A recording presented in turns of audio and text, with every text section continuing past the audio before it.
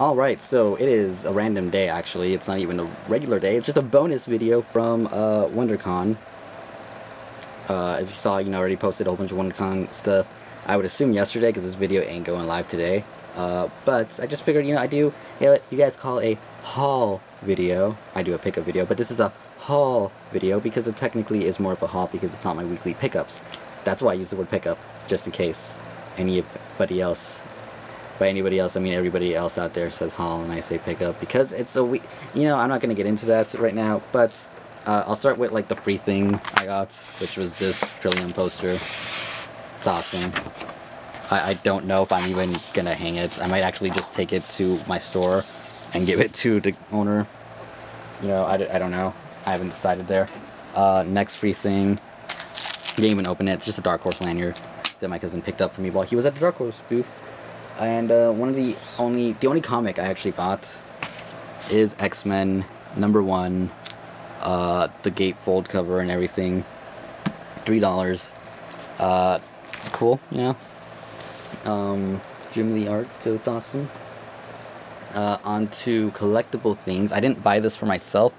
I bought this for my friend who gave me the money because he couldn't make it. The Pop Vinyl Blue Lantern Flash figure, and I really kind of wish I bought it, but I wouldn't have had enough money for the stuff I bought later if I did, but uh, I do wish I bought it because it was limited edition and all that cool stuff, you know. But it was limited to one, so got for him, you know. It's gonna sit on my shelf anyway if I got it, so it's gonna sit on his shelf too, but whatever. Uh, and for both of us, Last of Us American Dreams hardcover, uh, which apparently the lady told us is limited. Naughty Dog Naughty Dog. Naughty Dog gave 500 to, I think, PAX East is what she said.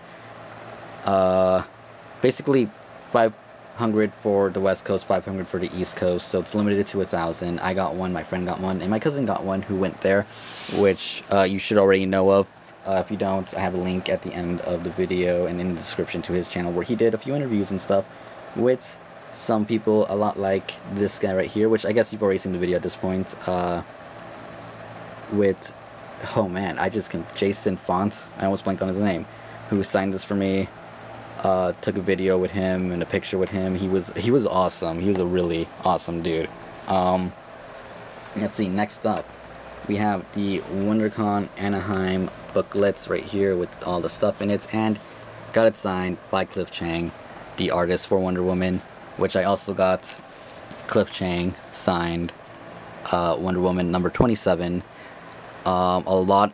Basically, we went there and got a whole bunch of signatures. Nothing CGC'd, but who cares? I'm not planning on selling it, at least anytime soon.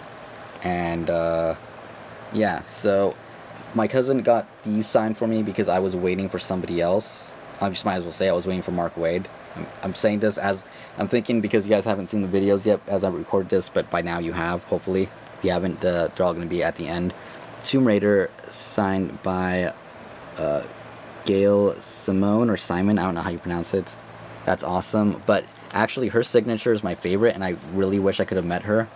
Uh, we, she signed Batgirl issue 13 for me right there in gold. In the gold, I'm just gonna tell you right now, looks really nice with the with the yellow, the Batgirl logo thing. Same with this one, Batman Wanted Part 1, Gail Simone. Awesome. Uh, speaking of Mark Waid, right there, signing that and the artist whose name I forget, uh, Mayhew, signed, who's the artist of Star Wars, signed this for me, but he did black, so it's hard to see, but it's there, it's cool still.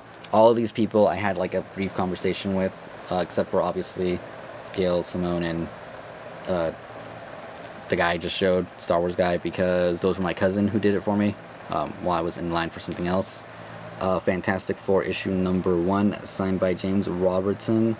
Really cool guy. Uh, gave him my YouTube channel because I, I told him I did a review for this.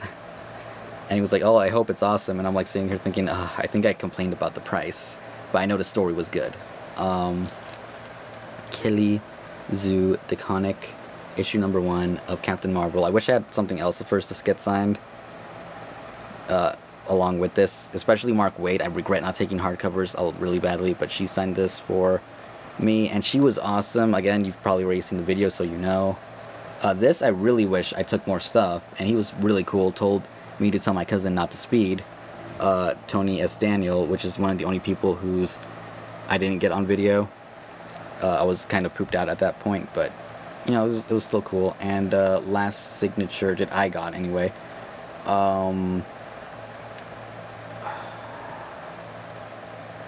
I completely forgot his name right now, and it's right in that thing. I feel bad that I forgot his name. Spence. Sp Lieber. Mar Mark Lieber. Is it Mark Lieber? Le Scott Lieber? Something like. I forgot your last name, man. But sorry. But yeah, he signed this Superior Spider-Man, Superior Foes of Spider-Man, issue one. Not just that, I bought Superior Foes of Spider-Man issue or volume one from him, and he signed this for me and we're not signed. He's well, he did sign it, but he drew uh, boomerang on it. That's freaking awesome. Cool guy again. All of them really awesome people. And the last two things I have to show, I bought Absolute Batman. It's signed by Tim Sale. Uh, it was used, but it's cool. I've been wanting to get it for a while, and it was really cheap. And the fact that it's signed, even if like they can't confirm it's signed, even like, I don't know why, whatever.